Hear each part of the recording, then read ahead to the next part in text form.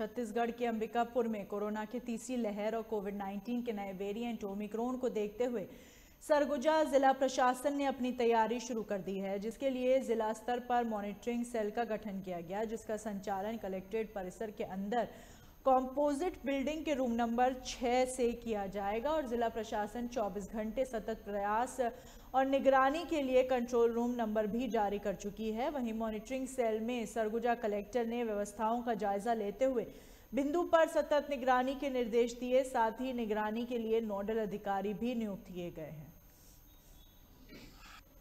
अभी कॉन्फ्रेंसिंग में कुछ निर्देश दिए गए हैं, जिसमें उनके द्वारा ये बताया गया है कि कोविड के लिए कंट्रोल रूम एक रहेगा और टेस्टिंग के लिए होम आइसोलेशन के लिए कंटेनमेंट जोन के लिए नोडल ऑफिसर्स रहेंगे।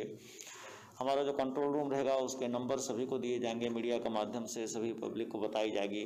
जिसमें किसी को भी कोविड के विषय में कोई भी बात जाननी हो, करनी हो, कोई सूचना देनी हो तो दिया जाएगा।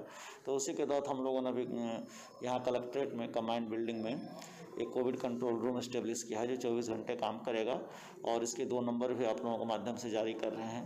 यहाँ चौबीस घंटे हमारे स्टाफ रहेंगे जो किसी भी तरह सूचना के लिए, किसी भी तरह की जानकारी के लिए यहाँ मौजूद रहेंगे। इसके अलावा अस्पतालों में जो पेशेंट आएँगे उनको एडमिट करवाने के लिए या टेस्टिंग को बढ़ाने के लिए, उसके लिए भी हमारी टीम बनी हुई है। उसके नोडल ऑफिसर्स बनाए गए हैं।